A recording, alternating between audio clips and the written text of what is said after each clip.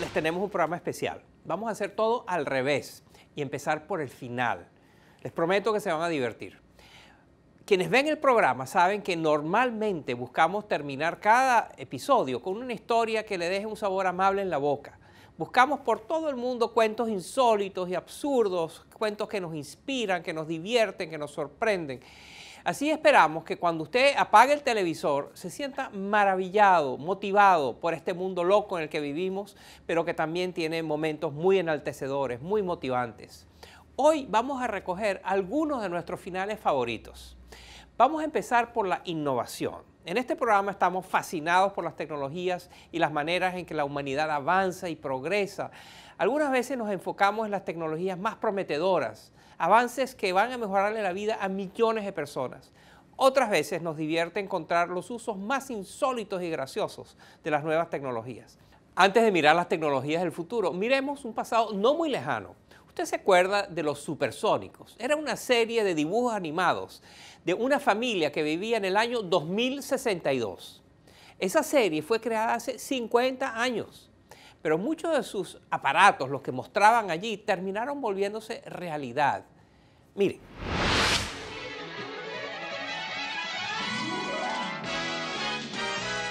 Año 2062. Un día en la vida de los supersónicos no incluía tareas como hacer la comida o limpiar la casa. Del trabajo del hogar se encargaba Robotina.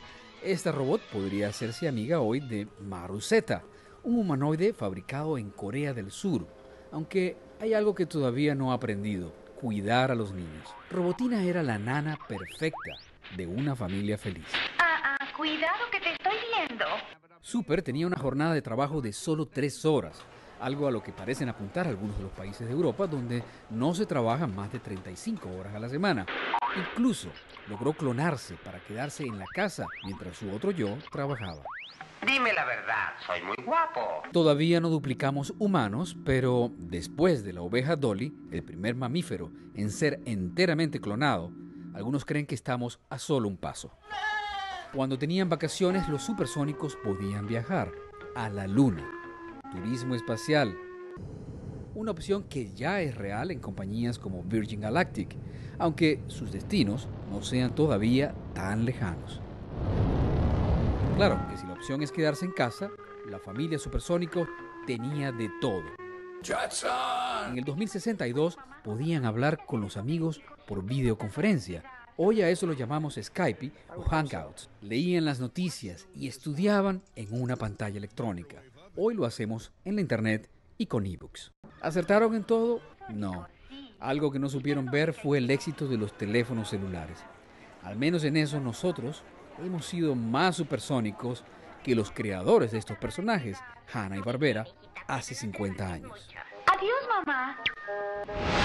Otra cosa que no pronosticaron los supersónicos son los drones, esos aparatos voladores de cualquier tamaño que pueden ser tripulados a control remoto. Tienen usos militares, usos comerciales y podrían ser usadas hasta para el terrorismo. Ojalá que no.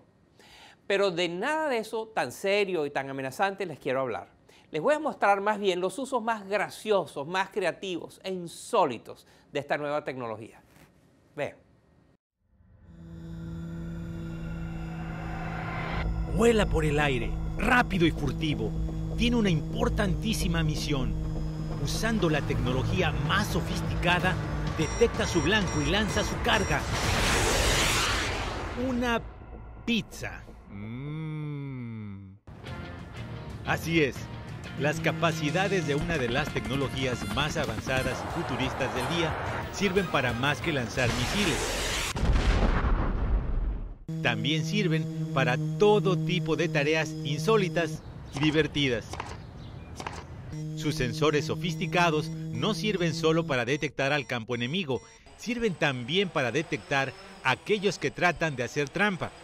En esta escuela en Alemania, los drones vuelan por las aulas de clase, vigilando a los estudiantes mientras toman sus exámenes. No solo intimida a estudiantes, esta alta tecnología también sirve como espantapájaros. En Canadá, este dron llamado Goosebuster patrulla el río Ottawa, usando luces y sonidos pregrabados de halcones u otros predadores. el Goosebuster asusta a los gansos que antes dominaban el río. Y otros son músicos, como estos drones que juntos tocan una bella sinfonía. Hasta los niños pequeños, aún con dientes de leche, han encontrado usos creativos para esta tecnología tan avanzada. Innovaciones en movilidad, innovaciones en manufactura y, ¿por qué no? Innovaciones en los deportes. Estos son algunos de los nuevos deportes que más nos hicieron reír. Miren.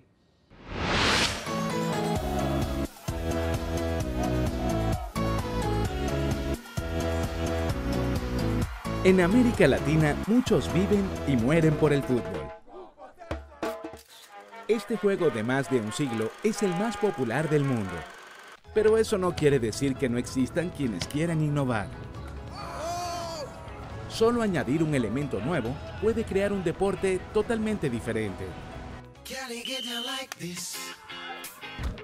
Eso es lo que han hecho algunos con el surf, esta gran burbuja de plástico. No suena muy novedoso, pero al incorporar esta inmensa pelota, el fútbol se convierte en un juego más extremo. En el fútbol estilo surf, no solo rebota la pelota. Si ya no le entusiasma tanto salir a trotar, invoque su hámster interior. Organice una carrera como esta. ¿No es suficientemente extremo? Ensaya esta versión, donde el objetivo es simple, evitarse el aplastado. Y aunque no es parte de las reglas oficiales, para aquellos dentro del surf, el reto es seguramente evitar el vértigo. Si los juegos de tirar la cuerda le parecen aburridos, conozca esta nueva versión. En este deporte, los equipos reman a toda fuerza para sobreponerse al lado opuesto. Originó en Polonia, pero se encuentran entusiastas de este reto de fuerza bruta desde China a Estados Unidos. La inspiración de los nuevos deportes no siempre es la realidad.